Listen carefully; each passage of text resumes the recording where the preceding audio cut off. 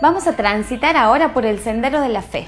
Vamos a ver la festividad de San Esteban, que está por el Camino de la Costa, un informe que hemos preparado todos aquí en el equipo de un CTV.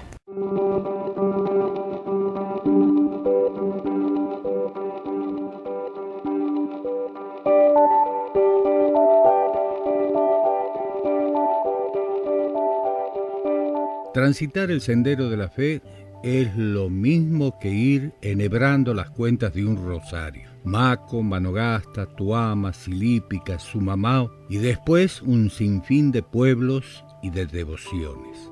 Lo llamativo es que todas estas celebraciones se componen con ritos y antiguas costumbres que les son comunes. Las corridas de los indios están presentes tanto en Santa Bárbara como en Tuama, Montserrat y San Esteban, a igual que las vivas, la quila de rosquillas y mazaguaguas, las pisadas por las que se reciben las bendiciones de la Virgen, de los santos y las santas.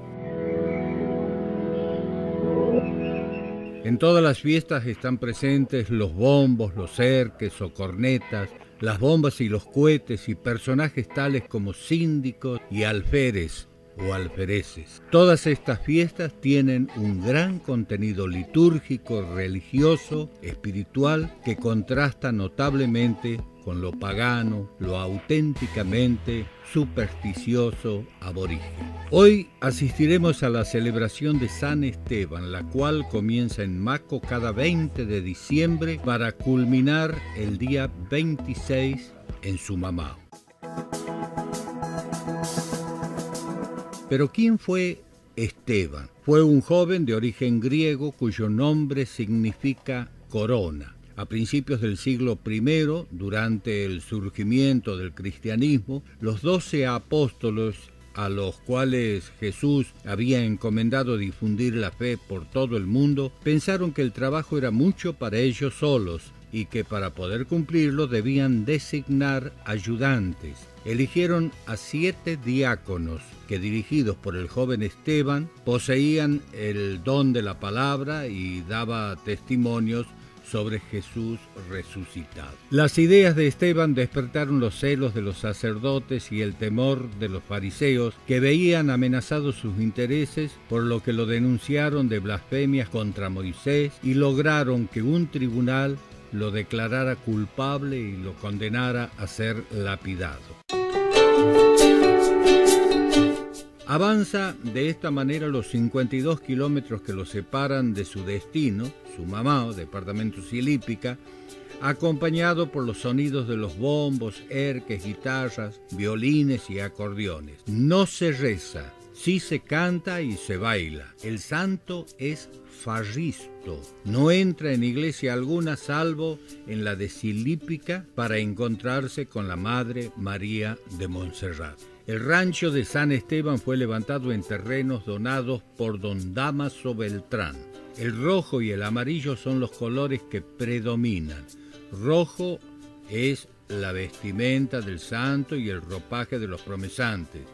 Rojas y amarillas son las vinchas, las cintas que lucen los paisanos, los adornos colocados en los bombos, en los caballos, todos son rojo y amarillo.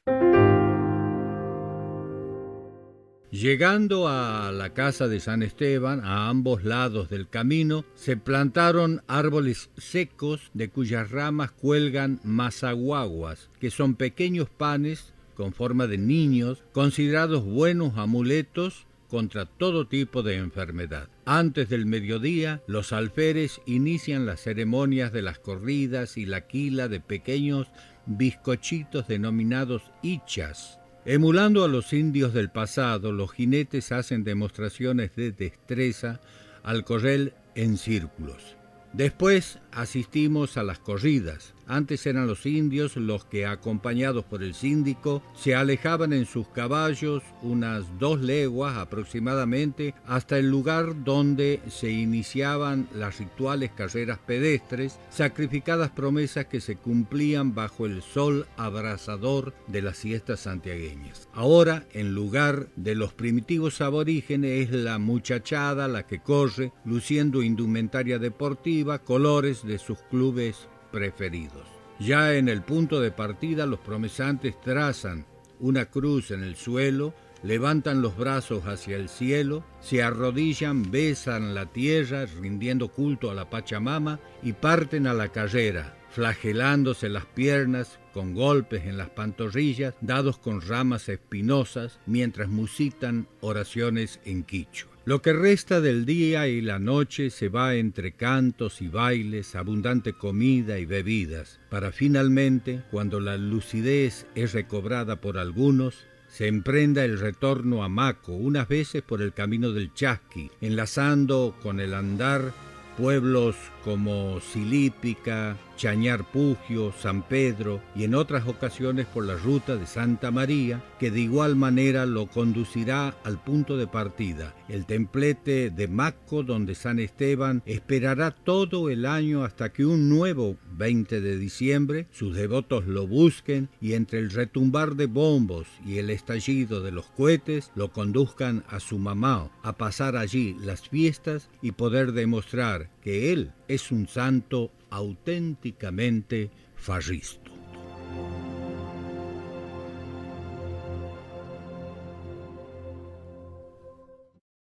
Hemos llegado al final de este portal 11. No te olvides de vernos el sábado que viene a las 14.30 horas por esta misma pantalla. También seguirnos en Facebook y en nuestro canal de YouTube y en las reiteraciones por el canal 14 de TIC. Nos vemos la próxima semana.